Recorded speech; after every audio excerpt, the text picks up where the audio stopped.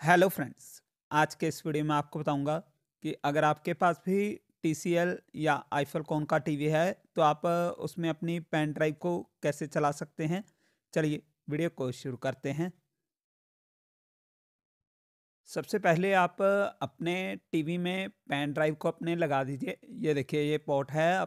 अगर आपके पास TCL या आईफल कौन का टीवी है, मेरे पास आईफल कौन का है, ये देखिए, इसका यूएसबी पोर्ट है यहाँ पर पेन ड्राइव लग जाती है।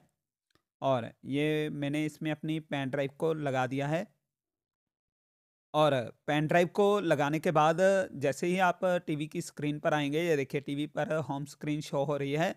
आपको क्या करना है, अपने रिमोट से इस बटन को प्रेस करना है। ये देखिए, ये इस बटन को आप जैसे ही रिमोट से प्रेस करेंगे, आपके सामने ये ऐसे ऑप्शन शो हो जाएँगे।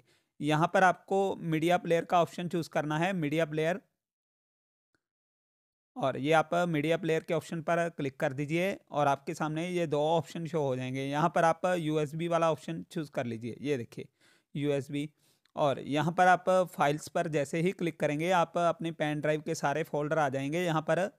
और फ़ोटो, वीडियो, ऑडियो जो भी आप देखना चाहते हैं, आप देख सकते हैं। जैसे मैं यहाँ पर वीडियो के ऑप्शन पर क्लिक करूँगा, ये देखिए। यहाँ पर वीडियो में आपके सारे वीडियो आ जाएँगे, जो भी पेन ड्राइव में आपके वीडियो होंगे, ये मैं वीडियो के ऑप्शन पर क्लिक करूँगा। और यहाँ पर मैंने एक मूवी को चूज़ किया है, और ये मैं पहले ही देख रहा था, इसलिए ये ऐसे आ गया ऑप्शन ये मैं ओके पर क्लिक करूँगा यहाँ पर।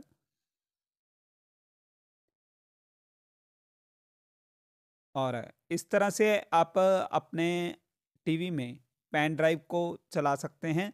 अगर आपको मेरा वीडियो अच्छा लगा हो तो वीडियो को लाइक कर दीजिए, शेयर कर दीजिए और मेरे चैनल को भी सब्सक्राइब कर दीजिए।